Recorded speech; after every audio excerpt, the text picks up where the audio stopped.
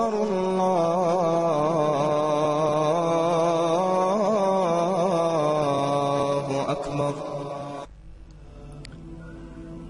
کیا کوئی مالدار انسان کسی ایسے گھر کا کھانا کھا سکتا ہے جو صدقہ یا زکات وصول کرتا ہو؟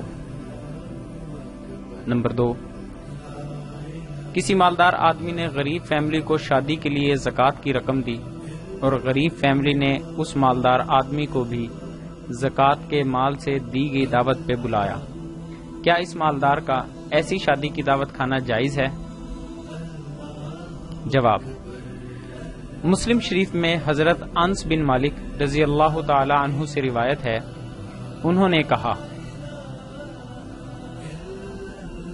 حضرت بریرہ رضی اللہ تعالی عنہ، جو حضرت عائشہ رضی اللہ تعالی عنہ کی آزاد کردہ کنیز تھیں نے کچھ گوشت جو ان پر صدقہ کیا گیا تھا، نبی اکرم صلی اللہ علیہ وسلم کو بطور ہدیہ پیش کیا تو آپ نے فرمایا، وہ اس کے لیے صدقہ اور ہمارے لیے ہدیہ ہے۔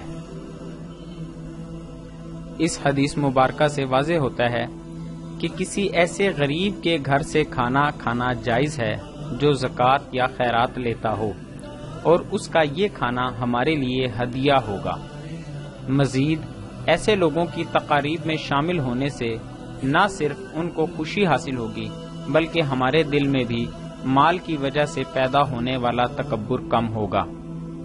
جزاک اللہ خیرہ مزید اسلامک ویڈیوز دیکھنے کے لیے ہمارے چینل کو سبسکرائب کریں اور دوسروں تک یہ معلومات پہنچانے کے لیے ہماری ویڈیوز کو لائک اور شیئر کریں۔